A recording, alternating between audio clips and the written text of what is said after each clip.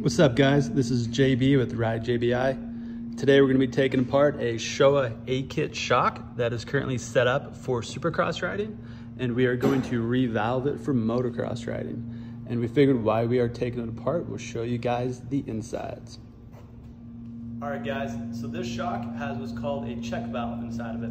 What that means is it's very restrictive on compression, but it allows it to rebound quickly like it normally should. I'll show you a demonstration of that.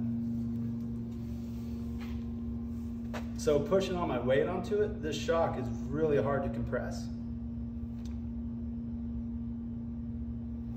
And when you let go, we see that it rebounds just as quickly as a shock normally should.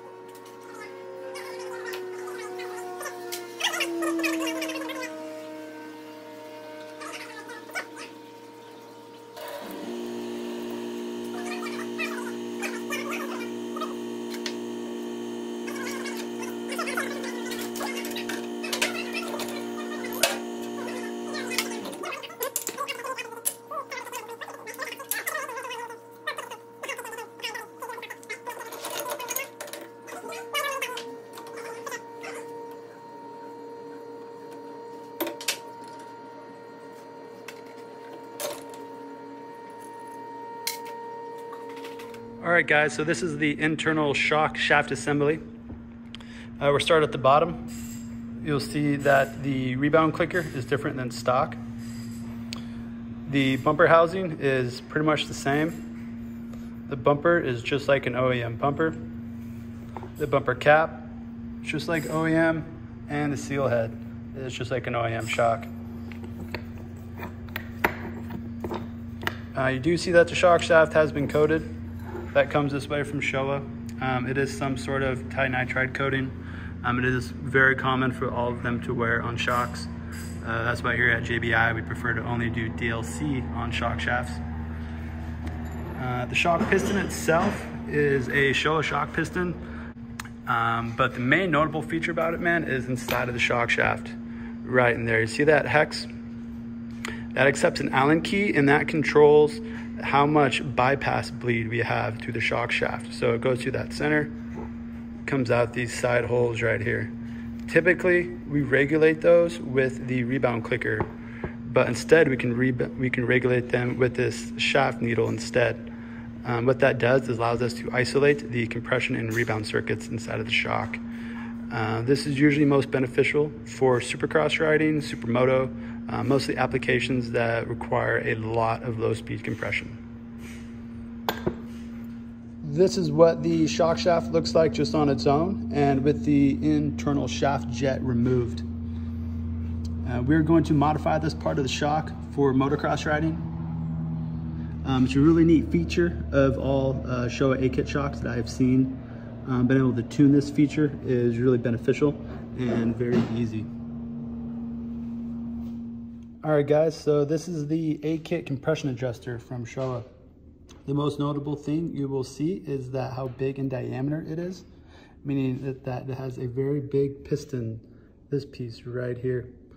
Uh, the coolest feature about it though is that it features a sub valve inside of it. that would be this piece right here with the holes going around the outside. Uh, what this means is it allows us to control the bleed bypass, which is controlled by your compression clicker with a shim stack as well, or you cannot run a shim stack and have it be an open bleed. All right, guys, this is looking at the shim stack inside of the compression adjuster. This is the main piston. Here's the back side of it.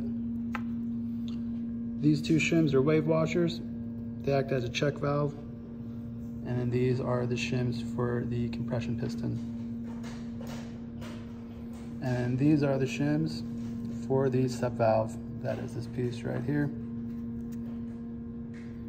Again, this part is not found in OEM production shocks. Uh, you can get a similar feature inside of the MX Tech triple adjuster uh, that they make for Showa, KYB, and WP shocks. Uh, this is a very stiff setting, so we again are going to revalve this for motocross along with the uh, main piston as well. All right guys, so this is the seal head from that shock. As you can see, the seal head is just like a production OEM seal head. Uses the same dust seal, bushing, O-ring, oil seal, and all the rest of the parts that you would find in a uh, production style Showa shock. Um, on this rebuild, we're going to replace the dust seal, that's this guy, the bushing, because we got some wear inside of it. There it is right there. And also the seal and the O-ring. All right guys, this is the shock piston out of that A-kit shock. Uh, very much just like an OEM shock piston you would find out of a Showa shock that utilizes a 18 millimeter shaft. Uh, this is the compression side and this is the rebound side. We're gonna get this all cleaned up and then install it back onto the shock. We got the uh, valving all sorted out already on the compression side. And now we're gonna sort out all of the valving on the rebound side. All right, guys, one last look at this A-Kit show Showa shock before we put it back together. This one's definitely got some use on it, but all the critical wear parts have been replaced. Again, A-Kit componentry shares a lot of parts with production stuff, which is awesome. That means stuff that is developed and made for A-Kit stuff, it's seen its way into our production bikes. Now, I got a lot of work to do here at the shop. Fortunately, things have not slowed down since COVID. So I'm not gonna be able to walk you through how we assemble this. Um, but just like any other shock, there's two ways you can do it. Uh, you can put it on a bleeder machine, like we got over here, or you can put the shock in a vise and hand bleed it as well.